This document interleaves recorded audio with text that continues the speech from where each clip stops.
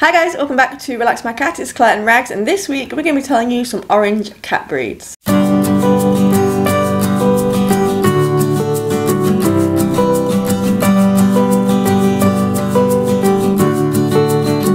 Now before we start, I want you guys to let me know in the comment section below if you've got an orange cat, a ginger cat, a Garfield of your own, and tell me what breed that they are. Are they on this list that I'm sharing with you today? Now cats come in all shapes, sizes and colours, including orange, and there are some orange cat breeds out there that have their own sort of quirks and characteristics. So Rags and I this week are going to be showing you some of the most orange breeds that there are out there. The first is the Abyssinian. Now Abyssinians come in a variety of colours, but orange is one of them, and they are absolutely gorgeous gorgeous creatures.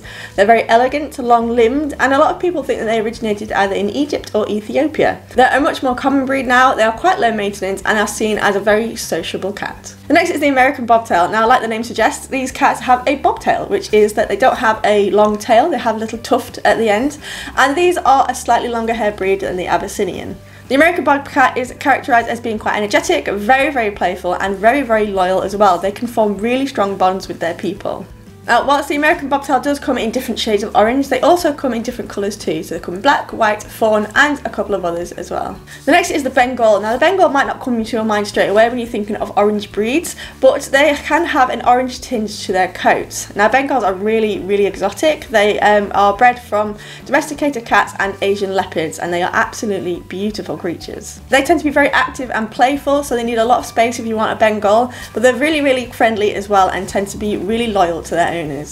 The next is the British Shorthair. Now, British Shorthairs, again, might not be one that comes to your mind when you think of orange breeds, but they are common in these colours. Now, mostly people might think of a British Shorthair and think of them as like blue or grey, um, but they do come in orange as well. Now, British Shorthairs are characterised by their short, fluffy fur and their little round faces. They are so, so cute. My parents actually have a ginger British Shorthair as well, and I like to call him Potato Head because he's got a head like a round little potato. It's really cute. now, if you're looking for a longer haired orange cat, you might want to look for a Maine Coon or a Persian. Now the Maine Coon is the largest cat breed ever. The Guinness World Record for holder for the largest cat is a Maine Coon and Persians are quite big cats as well, mainly because they've got so much fur. When you think of orange cats you might actually be picturing a Persian or a Maine Coon because they are very popular colours um, with these breeds. Persians are known to be quite uh, glamorous and very elegant and they love to sunbathe but can be very playful as well. Maine Coons are known as a gentle giants, they are very playful, very loyal and even have personalities very similar to dogs. They even are known to wag their tails when they're happy. So if you're looking for a longer haired orange cat, Persians and Maine Coons are your go-to, I think. So those are some of the orange cat breeds out there. Now obviously I didn't get to all of them, so if you have an orange cat and I didn't actually get to that breed, please feel free to let me know in the comment section below and share with everybody else. If you did enjoy the video guys, please give us a big thumbs up, it helps the channel out loads. And if you've not subscribed to Relax My Cat already, all you need to do is hit the button in the middle of the screen, it's just there.